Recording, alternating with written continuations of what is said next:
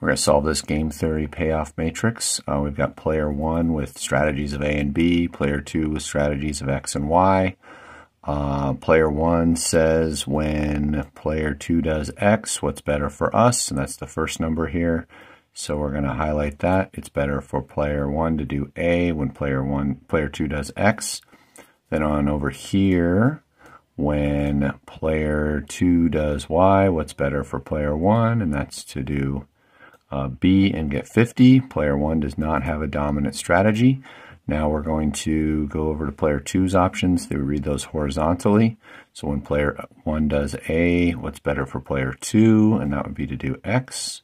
And then when player 1 does B, what's better for player 2? And that's to do Y. Player 2 does not have a dominant strategy either.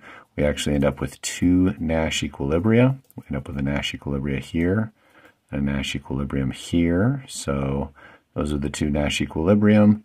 And player one would be willing to uh, pay player two to get down here. So if they were able to collude, all it would take is uh, player one paying player two at least three, because that's the value of their best option here. So they just need to pay them three and a little bit more, and that would get them down here. That would be better for player one and player two, and that would be the collusive outcome.